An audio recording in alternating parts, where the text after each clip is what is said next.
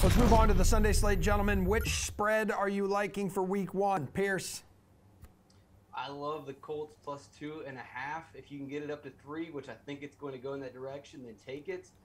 Seattle, their their explosive offense, it does really well against man-to-man coverage. Indianapolis plays a zone, so I don't see DK Metcalf really breaking out in this game.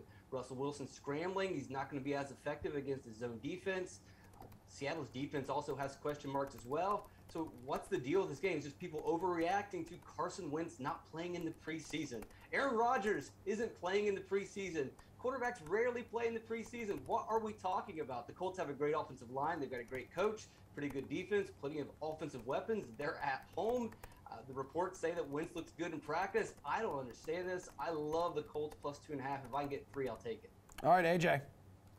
I, I agree with Pearce. I, I like that line as well. But for me, look, maybe I'm overvaluing the Jags a little bit, but Jacksonville minus two and a half, I think it's a great spot. Look, this this Houston team is a nightmare. They're gonna be bad this year. There's no doubt about it.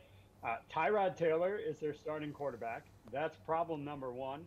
Their best defensive player left in the offseason. Literally every good player on this Texans team usually leaves after a year or two. So they are gonna be absolutely terrible. The Jags seem to have found uh, the quarterback they need finally in, in, Trevor Lawrence. But for me, I honestly think you're good giving up a, a full touchdown here. You can get uh, the Jags minus six and a half for plus 170 value. I think that is a phenomenal spot to get some really good value because this Houston team is just going to be awful.